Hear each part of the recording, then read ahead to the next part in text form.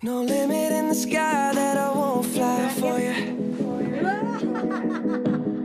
No amount of tears in my eyes that I won't cry for you. Setelah menghabiskan liburan bersama di negeri kangguru Australia, kini keluarga A6 yang beranggotakan Anang, Ashanti, Aurel, Azriel, Arsy, dan Arsya sudah kembali ke tanah air. Siapa sangka di liburan keluarga A6 kali ini banyak meninggalkan momen yang tak terduga. Terlebih lagi ketika melihat Arsy yang sempat membuat kewalahan Ashanti dan Aurel.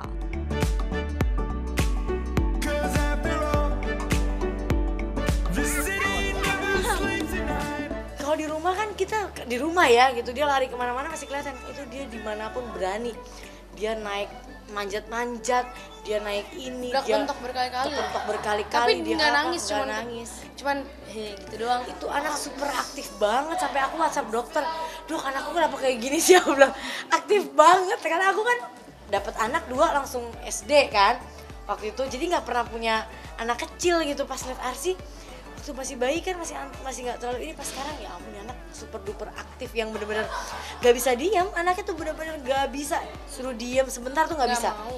Arsi Arsi habis dari mana Aku abi dari Melbourne. Arsi di Melbourne lihat apa aja cerita dong Apa? kanguru. Aku bener-bener sama dia 10 hari. Aduh bener-bener luar biasa banget sih.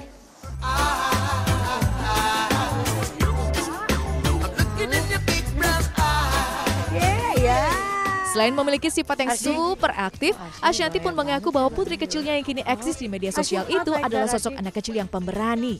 Kendati begitu, baik Ashanti maupun Aurel mengaku sempat dibuat pusing dengan tingkah laku Archie selama 10 hari berlibur di Australia.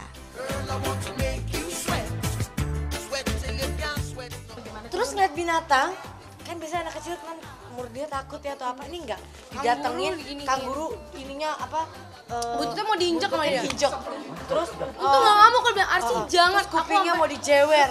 Apa? Ih, Aku dia tuh udah- banget bener-bener. Eh, udah kalau kan orangnya nggak sabar ya. Udah pengen aku udah marah berkali-kali sampai bunda kak udah kak jangan dimarahin. Abis kesel aku sampai Ya kadang aku marahin, aku marahin juga. Cuma kadang kan kalau kakak-kakaknya kan nggak kuat banget. Jadi aku kayak kerja sendiri kan di sana udah gitu kan. Udah eh, Arsya kadang sama suster, kadang sama Mas Ana, kadang sama aku. Kalau Arsy tuh benar-benar sama aku. Jadi benar-benar kayak aktifnya dia tuh bukan aktif yang suka boneka, bukan bukan beda. suka yang gitu-gitu enggak. bukan yang kayak dia tuh tomboy tomboy banget kayak aku waktu Tapi kecil kayak nakutin dirinya gitu karena terlalu berani sama orang anak lain kalau dideketin sama dia pada mundur-mundur dia kenapa? Kenapa mundur? Gitu. Terus kalau misalnya ditanya dia dia ngomong gitu nggak nggak dijawab? dia kesel. Dia, dia misalnya dia diapain lah kan takut jadinya kan anak orang.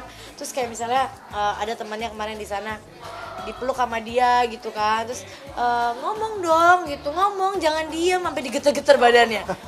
Aduh, iya bilang. Terus kan jatuh jadinya. Tapi seru sih. Seru karena banyak quality time yang aku biasanya kan di rumah wala- di Jakarta walaupun kerja pasti bawa mereka ya semua gitu tapi eh, belum tentu bisa belum tentu kayak bisa benar-benar kayak kasih dia makan, mandiin, tidur apa gitu kan karena kebagi-bagi anak. Gantiin popok mah sering kak, maksudnya kayak yang benar-benar setiap hari gitu karena kan anak empat jadi harus dibagi-bagi gitu.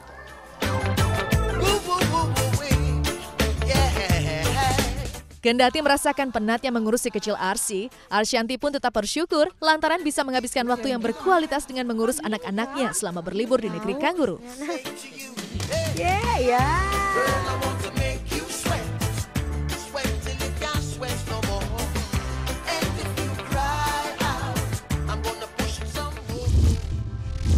I really wanna stop, Sebagai pasangan yang baru menikah, kehidupan rumah tangga dari Kalina Oktarani dengan suami barunya Hendrayan sedang manis-manisnya. Menikah pada 26 Mei 2017 lalu, kini keduanya pun kerap menghabiskan waktu bersama sebagai pengantin baru. Kalina pun menceritakan kehidupannya pasca menikah yang baru seumur jagung itu. Diketahui bahwa Kalina dan Hendrayan memilih memasak sebagai salah satu cara untuk menghabiskan waktu bersama.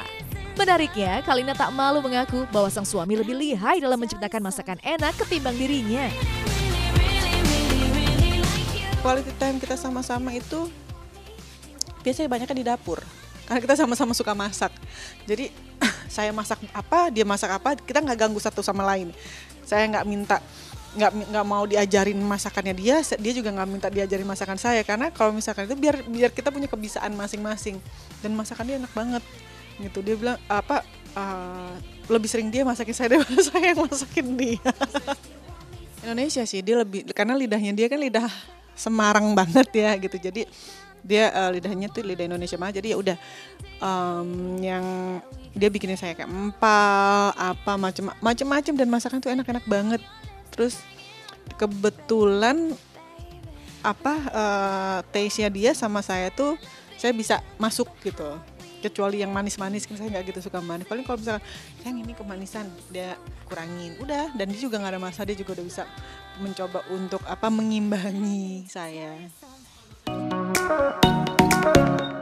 Bagi mantan istri Deddy Corbuzier itu, pernikahan keduanya ini masih memerlukan proses penyesuaian.